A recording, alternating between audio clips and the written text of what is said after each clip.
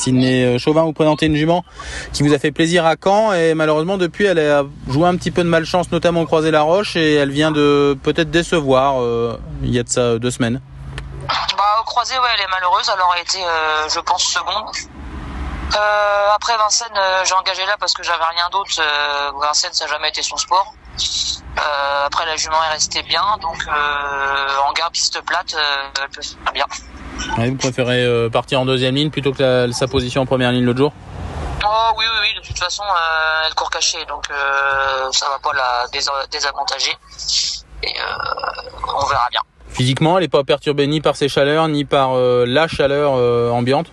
Non, ça la gêne pas ça ne l'a jamais trop gêné. Donc d'aventure, si elle a un parcours correct, elle doit être capable de pleinement se racheter? Oh, Si elle a le parcours euh, qu'il faut, en gain c'est sa piste, euh, elle a gagné là-bas, euh, elle a pris des places là-bas, compte être dans les 5, oui.